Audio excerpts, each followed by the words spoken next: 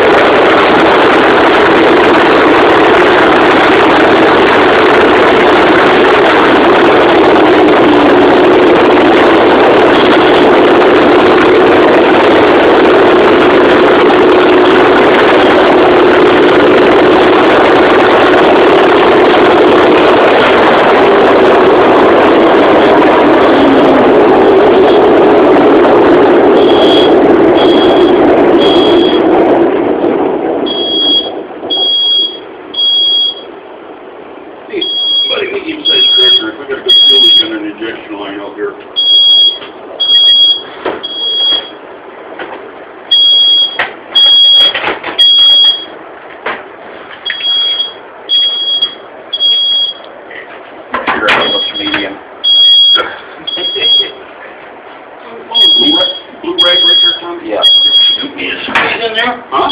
Need me to squeeze in there? You try it Have first. some time desire to do so. A fuel leak, huh? So much for being fully operational. Oh, we're fully operational. I'm only teasing, don't worry. To me, it's phenomenal that these even run after, what is it, 60 years Yeah. or whatever it is, you know? Well, actually not, they're pretty damn good engines. Yeah, they have to be to run, you know, at this age.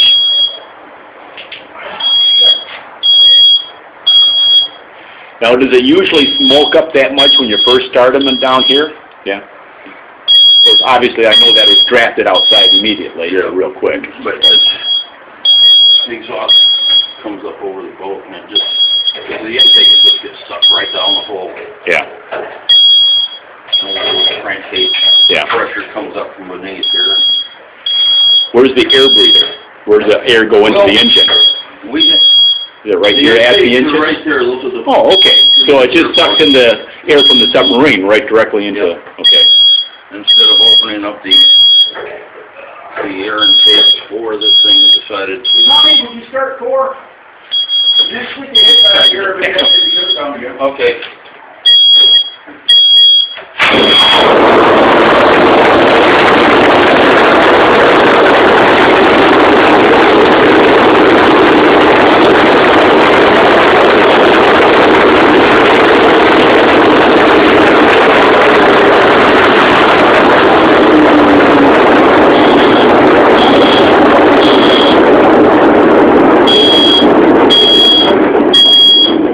So he decided that he wanted to, uh, not use these intakes. Just the submarine air, yeah, yeah. It does get smoky throughout the boat and stuff like that otherwise. I think that's great, just to walk out of here with that smoke get- on you. get the heat out of here too. Yeah, yeah, to draw it out, yeah, yeah, understood. Now, do these engines have nine cylinders or eighteen? Nine cylinders, eighteen pistons. Okay, so two pistons per Yeah, cylinder, opposing. a- I see. There's a picture of it right here. Can I walk through here? Yeah. Oh, yeah, look at that, yeah.